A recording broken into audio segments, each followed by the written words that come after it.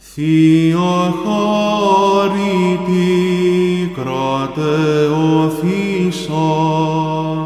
κράτος ισχυνάς της δισεβίας, χαριτίνη υπερφύσιν αθλήσασα. Όθεν χαρίτων πηγήν αδαπανήτων, ως γλυκασμόν αναβλύζεις της κράζουσι. Μάρτισεν δόξε Χριστόν τον Θεόν οικετεύε, δωρήσαστε ημίν το Μεγα έλεος.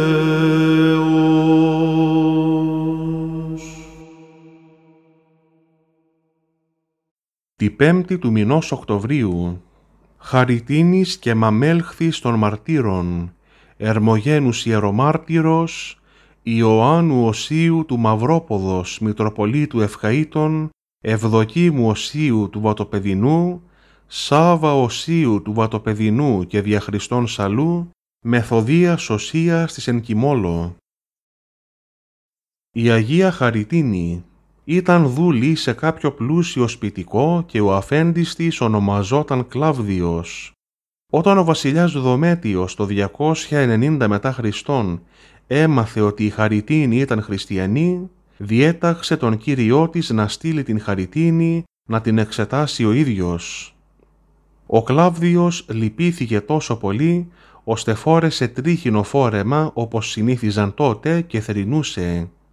Η Χαριτίνη τον παρηγορούσε και του έλεγε ότι δεν πρέπει να λυπάτε αλλά να χαίρεται, διότι κι αν ακόμα πεθάνει θα αξιωθεί να προσφέρει τον εαυτό της θυσίαν δεκτήν ευάρεστον το Θεό, δηλαδή θυσία που δέχεται και ευχαριστείται σε αυτήν ο Θεός.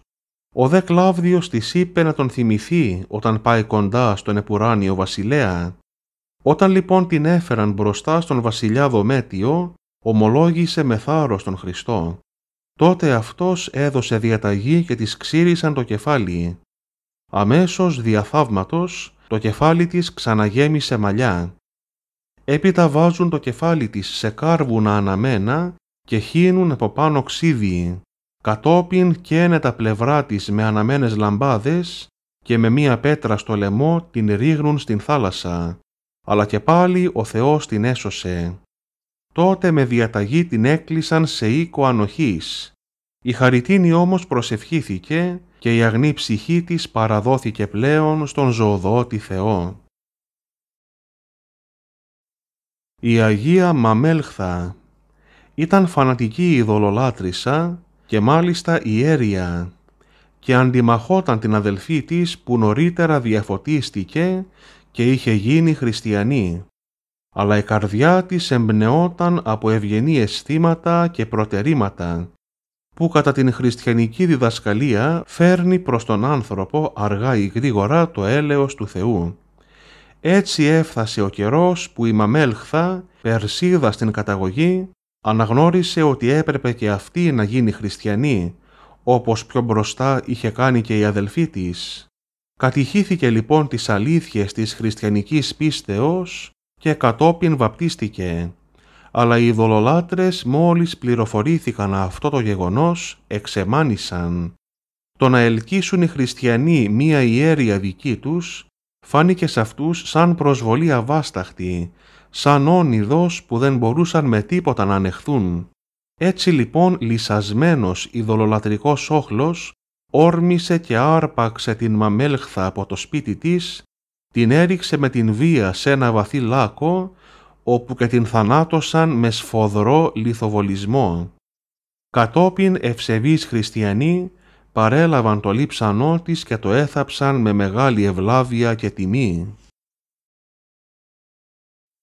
Η Οσία Μεθοδία η Ενκιμόλο Γεννήθηκε στην Κίμολο των Κυκλάδων στις 10 Νοεμβρίου του 1865 από γονείς ευσεβείς. Ο πατέρας της ονομαζόταν Ιάκωβος Σάρδης και η μητέρα της Μαρία. Είχαν τρεις γιους και πέντε θυγατέρες, από τις οποίες η δεύτερη ήταν η Ειρήνη, η μετέπειτα Μεθοδία. Η Αγία από μικρή είχε κλείσει προς τα θεία και πάντα σύχναζε προς την εκκλησία. Όταν ήλθε σε κατάλληλη ηλικία για να μην λυπήσει τους γονείς της, παντρεύτηκε έναν ναυτικό αποτυχίο. Αν και παντρεμένη, ο ζήλος της προς την εκκλησία παρέμεινε αμύωτος.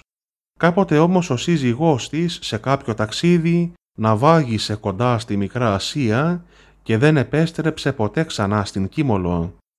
Τότε η Ειρήνη έγινε μοναχή στο ναό της Παναγίας της Οδηγήτριας στην Κίμολο, από τον τότε Αρχιεπίσκοπο Σύρου Μεθόδιο και μετονομάστηκε Μεθοδία από Ειρήνη. Η χαρά της ήταν μεγάλη και ακολούθησε τα ευαγγελικά προστάγματα του Κυρίου με όλη της την ψυχή. Η ασκητική της αγώνες ήταν μεγάλη και αποτελούσε ζωντανό παράδειγμα προς όλους. Η φήμη της μεγάλης αρετής της διαδόθηκε παντού και πλήθος γυναικών πήγαιναν να την συναντήσουν προκειμένου να βρουν πνευματικό καταφύγιο και λιμάνι από τις τρικυμίες της ζωής. Ο λόγος της οσίας ήταν δροσιά και ίαμα στις ταλαιπωρημένες ψυχές. Επίσης η οσία μεθοδία εκτός των άλλων χαρισμάτων αξιώθηκε από τον Θεό και το χάρισμα να κάνει θαύματα. Έτσι αφού Άγια έζησε σε όλη της τη ζωή, εκοιμήθη ειρηνικά την Κυριακή 5 Οκτωβρίου του 1908 σε ηλικία 43 ετών. Της κοιμόλου των γόνων αρετών το κοιμήλιον και των απέων οσοσίων. Αληθώς την ομοσκήνων τιμήσομεν εν ύμνης η πιστή οσίαν μεθοδίαν την σεπτήν.